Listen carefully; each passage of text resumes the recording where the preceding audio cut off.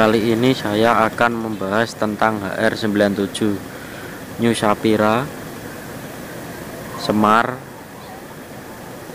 Songopitu. Itu adalah julukan yang pernah dipakai oleh HR97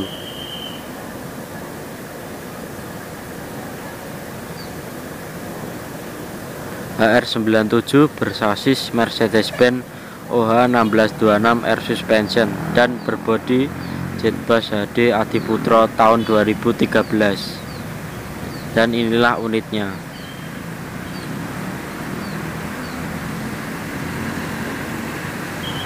Serta berlivery The Unicorn putih hitam orange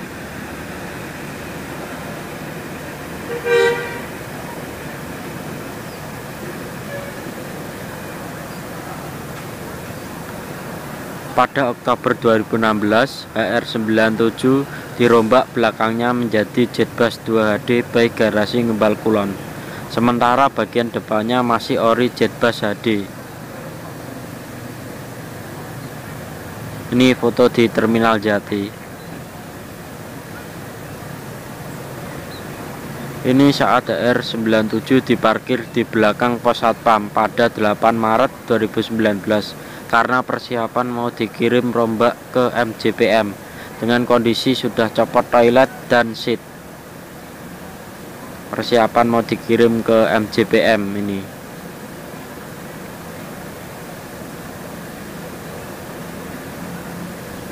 Namun pada November 2019 HR97 yang sudah dalam kondisi jetbus 13 HDD setengah jadi by MJPM akhirnya dipindah rombak ke Dewi Sri Asri.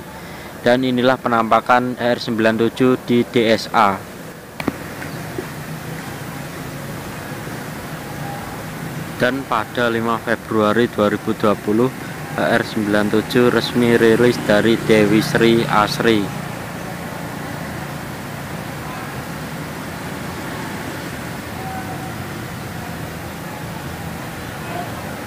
rilis sudah dalam penampilan Jetbus 13 HDD facelift Voyager. Rilis tanpa wayang.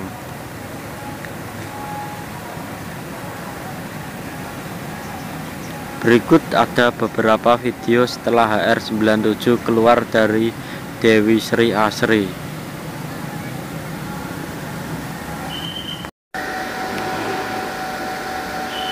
di depan saya ini sudah ada HR97 HR97 dulunya berjuluk New Sapira kemudian ganti Semar dan terakhir ganti Songopitu HR97 ini bersasis Mercedes-Benz OH 1626 R Suspension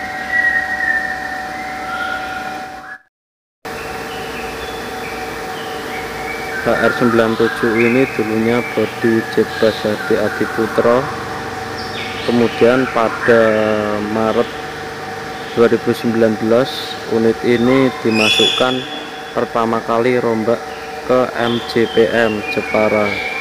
Sudah dirombak setengah jadi menjadi Jetbus 13 HDD tapi di tengah jalan ternyata unit ini dipindahkan rombak ke Dewi Sri Asri Demak dan akhirnya diubah menjadi sekarang ini menjadi Jetbus 13 HDD facelift Voyager.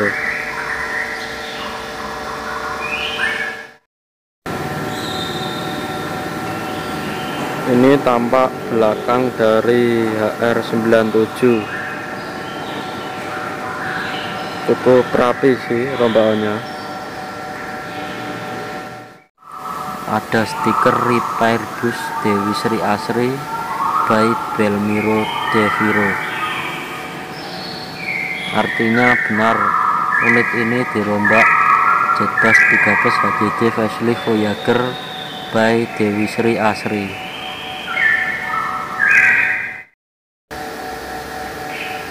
Untuk kaca belakang sendiri ini masih menggunakan kaca lamanya ya kaca Jetbus HD bisa dilihat ini cuma ditutup plat supaya lekukannya mirip lekukan setra. Dan juga ini ada bekas stiker batik yang belum dicopot secara keseluruhan. Ini sebetulnya sudah tidak ada toiletnya ya. Toiletnya sudah dicopot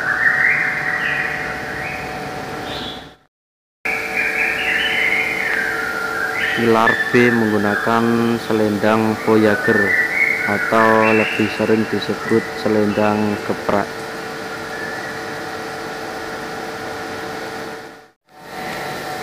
tampak depannya berstiker jetbus 13 HDD dengan topi ada list chrome-nya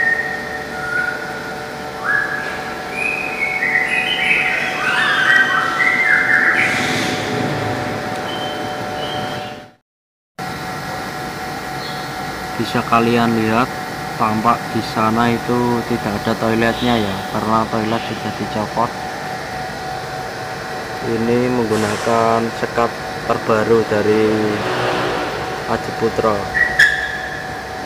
untuk seat juga belum dipasang nanti bakal dipasang seat baru juga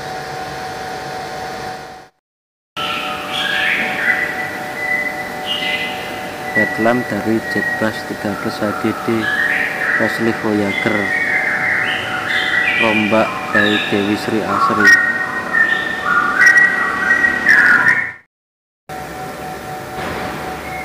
Tampak muffler belakang seperti mobil-mobil balap penduknya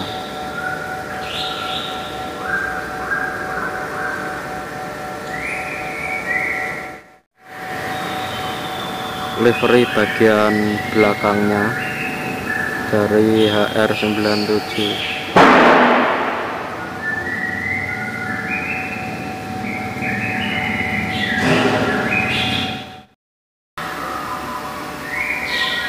di bagian sini bagian lampu sini sepertinya agak renggang ya dengan bempernya.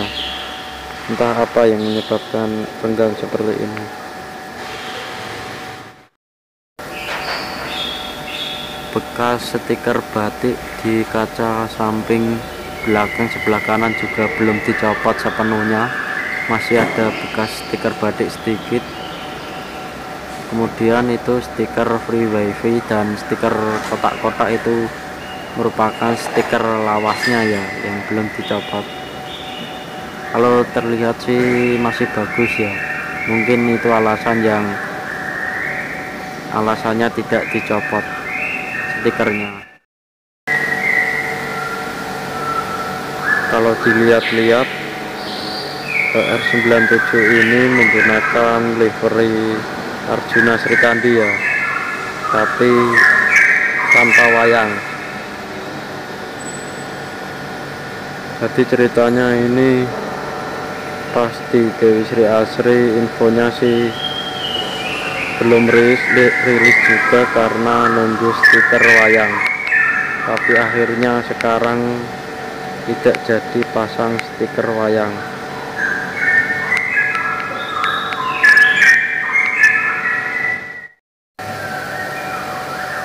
Ada emblem jetbus di sini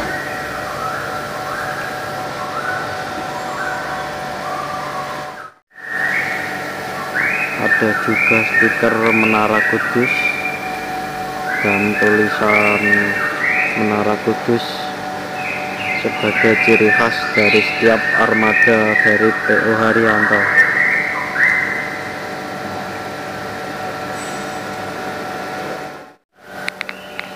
Dan ini stiker PO Haryanto di bodi bagian samping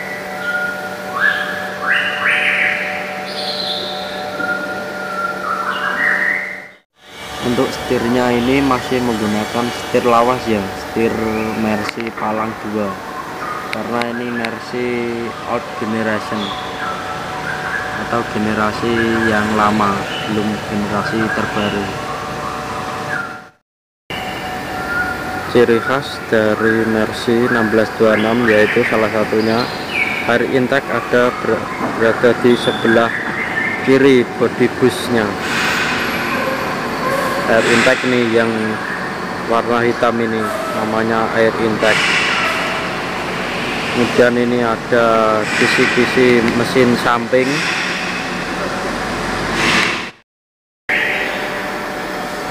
Ciri khas dari Mercy 1626 lainnya adalah di bagian velg depan sini bautnya berjumlah berjumlah 10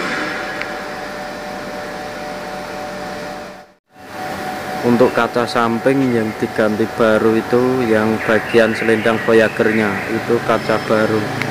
Sementara untuk bagian sebelah belakang kaca sini belakang selendang Voyager masih menggunakan kaca lawasnya.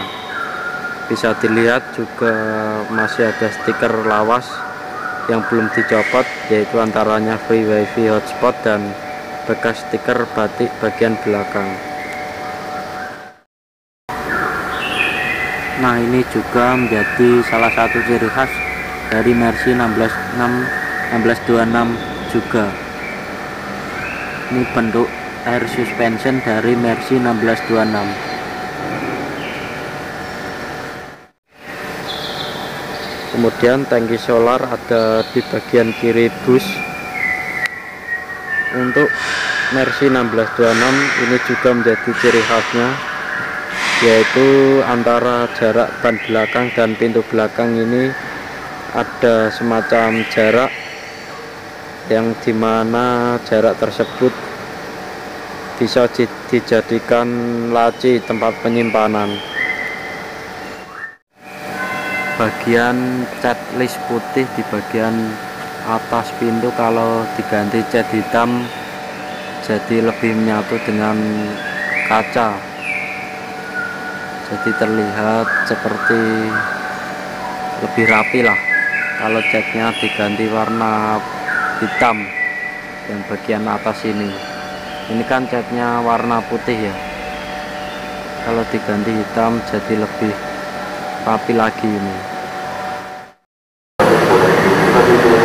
ini tampak R97 setelah diberi stiker air suspension Mercedes-Benz OH1626 dan di belakang ada stiker batik.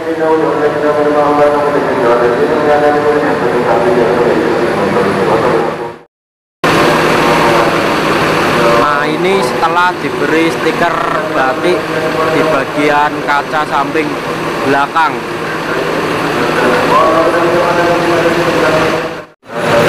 tampak bagian belakangnya setelah diberi stiker batik dan stiker solawat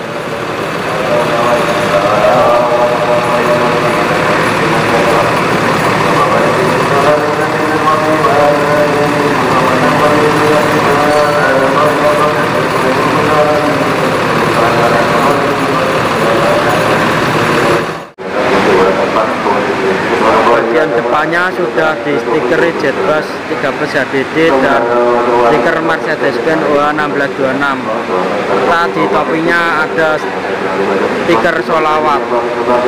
Nah ini tampak depan dari HR 97